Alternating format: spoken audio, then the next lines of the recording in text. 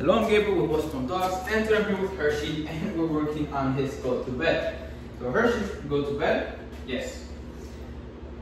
Stay. And what we're gonna be working on is me being able to sit down. I have two chairs in, in the room, and I'm gonna sit down. Usually sitting down is a figure for dogs to break. It's an invitation for them to come to us.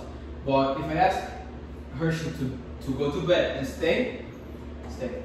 He cannot move no matter what I do. So here I have a chair, stay.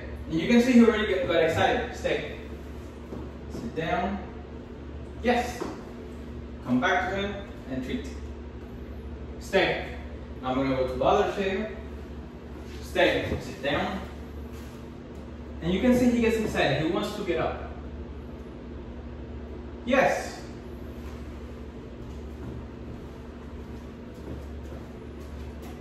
Stay. We want, we just want to get Hershey used to us moving around and him staying on the mat no matter what we do. Yes. Stay.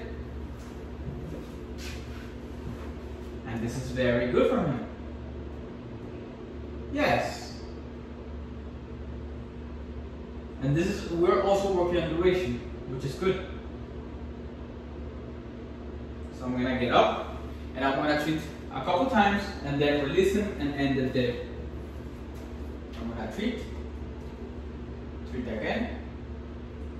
One more time. Tap on the head and we're okay. And if not, if he wants, he can get he can move out of the mat. But if, if he doesn't, if he prefers to stay there, that's okay. But he's not gonna receive a treat because of that. But he did very good. He did not break once he really fought against his impulses to not break. So he did very good. That was very good from him. Nice job, Hershey.